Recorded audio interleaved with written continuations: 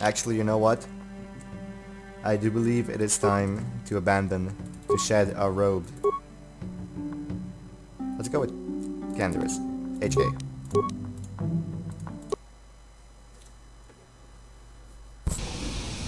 It is time to finally shed our robes. I'm gonna lose so much. Actually, I didn't even lose that much defense. I did lose dexterity and strength though.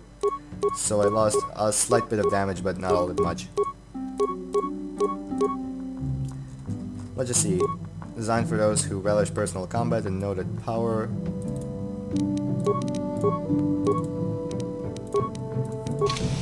Okay, so I can either look like this, or like this. I like the blue look, to be honest. Okay, so what was I looking for? Oh, right, that that guy. Hey, buddy. Blah, blah, blah, blah, blah, blah. Show me what you have for sale. Wait, what? You don't have what I seek?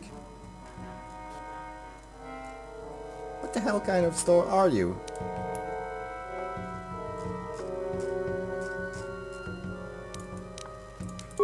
They don't have droid parts. Can you believe that? Oh, I know who has.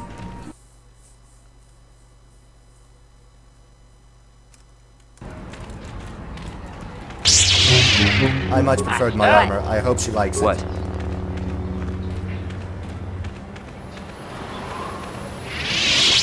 Okay, now let's say hi. Who the hell isn't moving? HK, okay. Hi, I brought you the tech lens. You're back! I knew you'd come through for me. Here's the tech lens. Take it. Come to Papa, you sweet simian organ.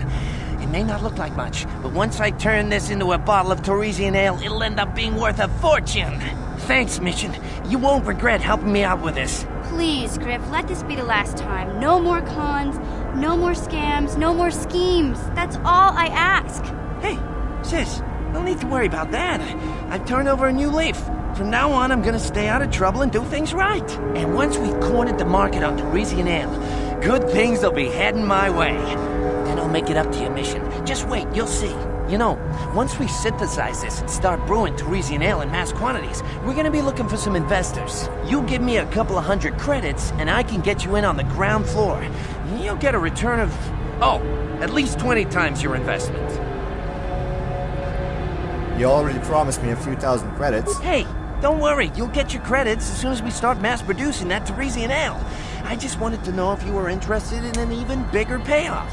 Now look, this is just a scam. But sure, why not? I have the money. Wise move. I can see you really understand how business works. Now, when you see your chance, you jump at it, huh? That's my motto. I better get started on brewing that ale. Meet me back here later, and I'll have a down payment on what I owe you. No, he won't. Okay, so what does it say? Uh, to brew up a badge, however, the credits he promised you haven't materialized yet. He did say you could meet him later in the Circus Supply shop on Tatooine to collect the debt. Okay, so I'm gonna go back out, and afterwards I'm gonna go back in. As soon as I buy way more computer spikes and parts. At least 50 of each need, need to be in my inventory at all times. That way I can do whatever the hell I want all the time. And get the maximum amount of experience out of it. Does that sound like a plan? Yes! See, even uh, uh, the spirits confirmed it. It was the Force. I'm you, you idiot! Nope, it was the Force. No, I'm you! The Force. See it, shut up. okay, you must probably think like I'm mentally crazy. Where the hell is HK?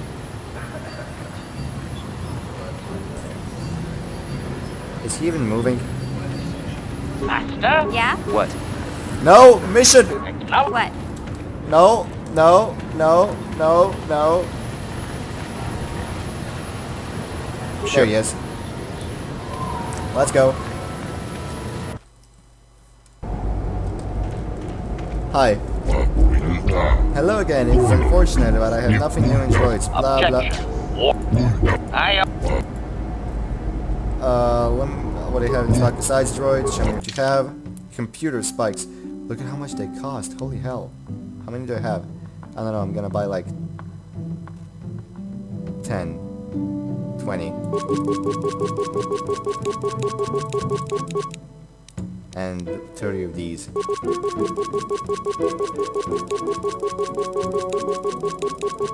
Okay, that's enough. How many do I have now? 50 and 50. Perfect, actually! Like I had calculated it all in my head. Okay, now let's return to the Ebonhawk because it's closer, damn it. And let's uh, drop these guys, shall we? And go with these guys.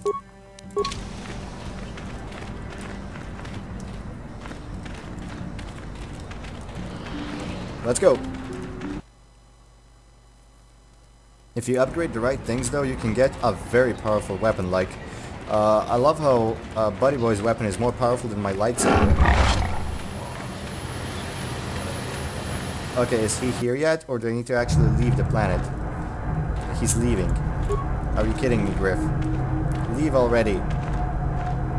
There we go, he left. Now let's go back out and back in.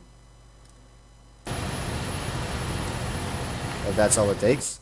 Is it? No, it's not. I actually need to go to a different planet. Well, shit. Turn to the Ebonhawk. Let's get back onto the Ebonhawk.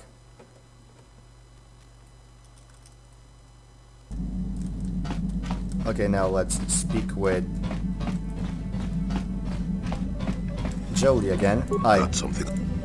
Mentioned something about your wife before? I don't want to talk about that. I don't mean to pry, but Yes, you do. You may mean well enough, but my private affairs are just that.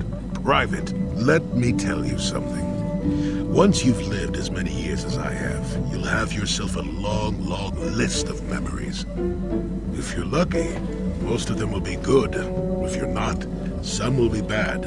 If you're really unlucky, some will be so bad you'll never want to be reminded of them again, ever. You'll go far away to a place that doesn't hold any memories at all. And there you'll be happy just to forget and be forgotten. Is that why you went to Kashyyyk? Eh, Partly, maybe. I doubt I could ever explain it to you fully, even if I wanted to. Let me ask you this. Have you ever been in love? Truly in love, I mean, and not simple infatuation. Well, no. Exactly. You're still at the beginning of your life. There will be women in your life, perhaps many women. But if you're fortunate, you'll find love once. The Jedi, with their damnable sense of overcaution, would tell you love is something to avoid. Thankfully, anyone who's even partially alive knows that's not true. That's what I've always thought. Love doesn't lead to the dark side.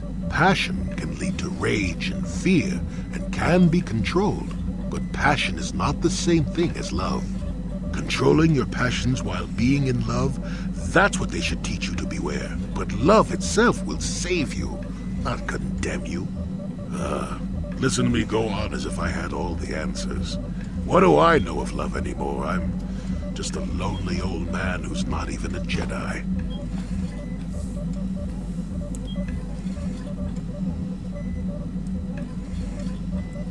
Not even a Jedi. You mean not anymore, right? Nope, never was. Technically, I never rose above the rank of Padawan for various reasons. Does that surprise you? You seem to have all, not the way you. You see, you seem to have all the abilities of a Jedi. In my case, becoming a Jedi would have been a formality.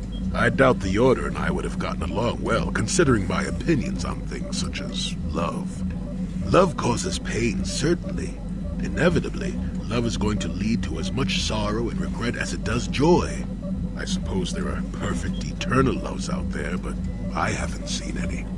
And how do you deal with the bad part of love is what determines your character. What determines the dark side's hold over you. So what happened between you and your wife then? I haven't changed my mind. I'm still not going to talk about it. You go and find your own love if you want to know so badly. I'll tell you one thing. Sometimes, no matter how hard you try, you and the one you love simply aren't meant to be together. The trick is to know when that is.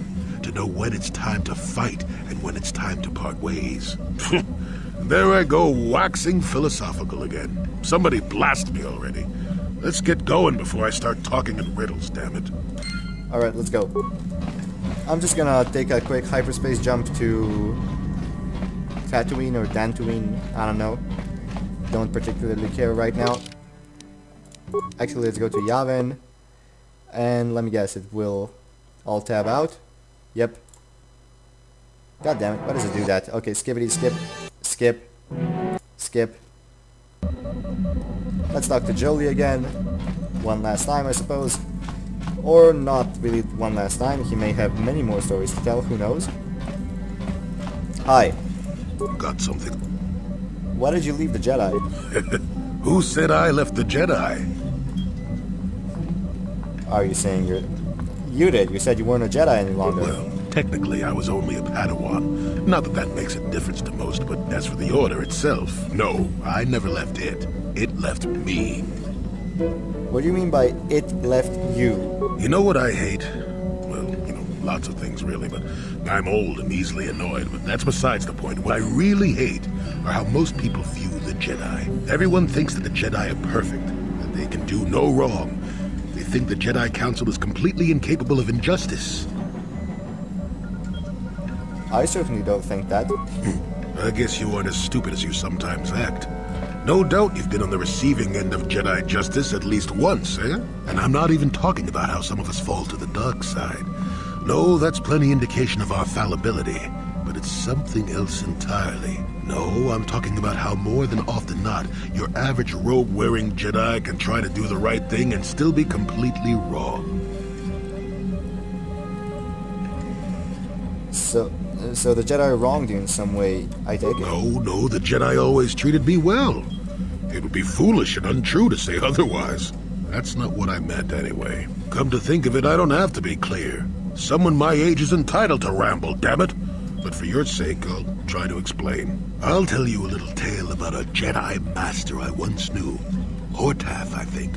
Or was it Horthoff? Ah, I could never get it straight.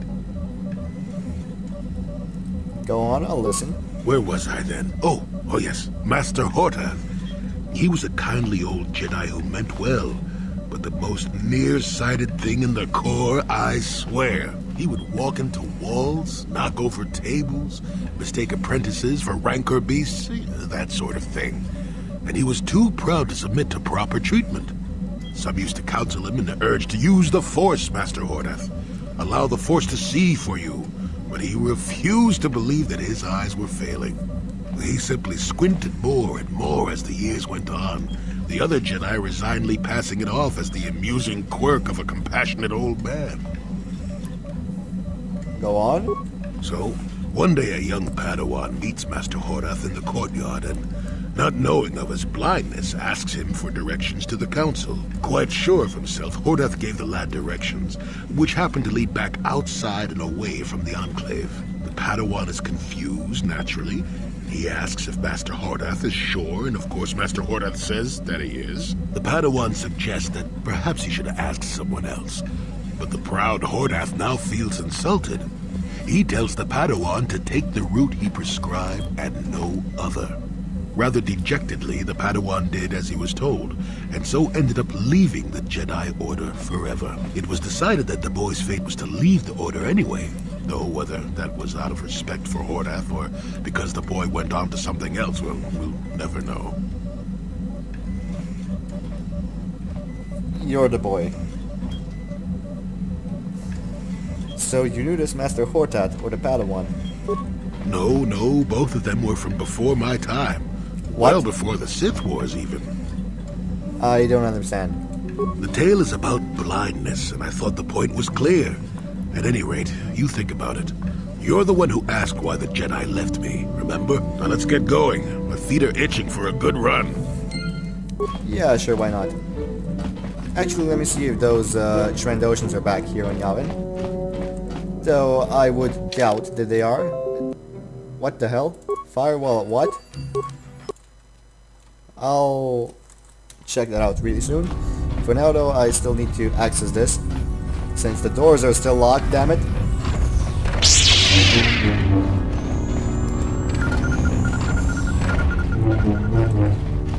Unfortunately, I stopped wearing armor because of my Jedi powers now.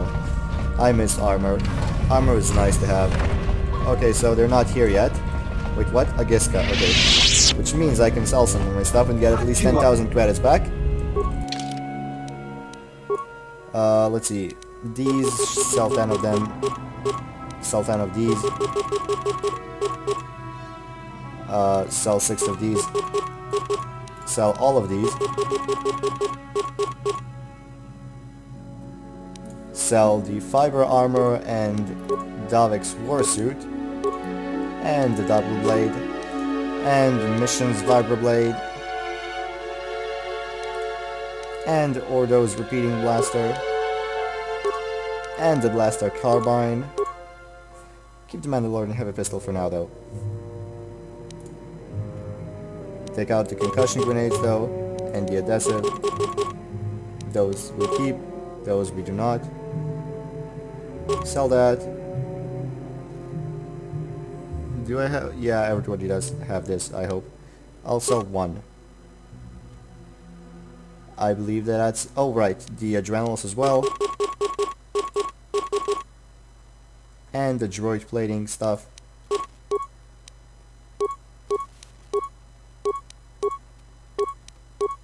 I'm gonna keep the advanced stun but the rest I'm selling. There we go, now I have 15,000 pedals again. Nice! Okay. Before we get too excited, however, let's remember we still have a Grumpy Jolee to contend with after we get back to Tatooine to check on uh, the progress of Griff, Mission's brother, who will most likely be driven out again and will be left without money again, but at least the mission will be finished. Let's go to the Ebon Hawk and beyond.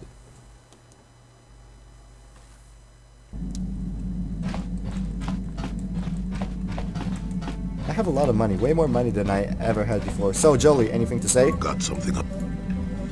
What do you know about the Sith? Actually, can you make a healing kit? How many could pass? Okay. Got something. Sith. Bad, bad men.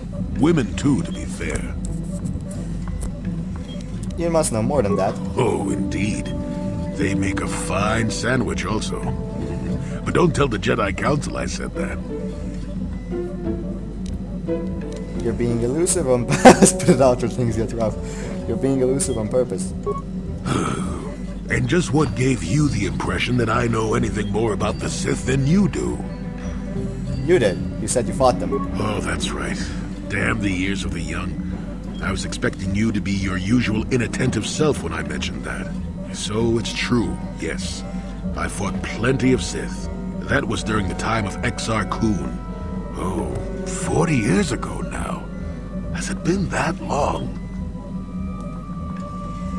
Who is Exar Kun? Exar was a Jedi who was corrupted by ghosts of the old Sith, or so they say. He attempted to conquer the Republic and create a new golden age of the Sith. And he was killed? Better to say he was defeated, but essentially, yes. The victory did not come easily, however. Uh, so tell me what you know.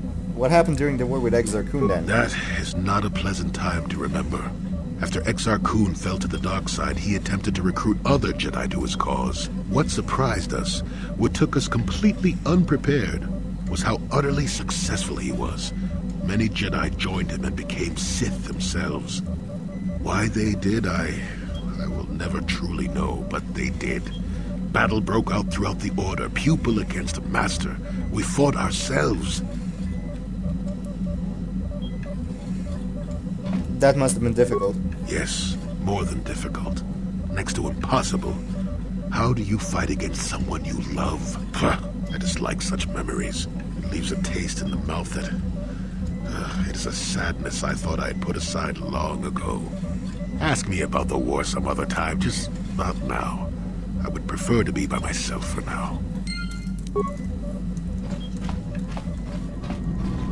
Oh, I know the perfect title for this part. The Ramblings of a Bindo. Yep, perfect. Let's go to Tatooine now. And hold up, it's gonna throw us out. Just, oh shit. Fire! Uh, you can know when the fighters are coming by the music. It was a different music this time. Why am I still bothering with this guy? Okay, let that guy pass over and shoot him. There we go. And we're out. Told ya.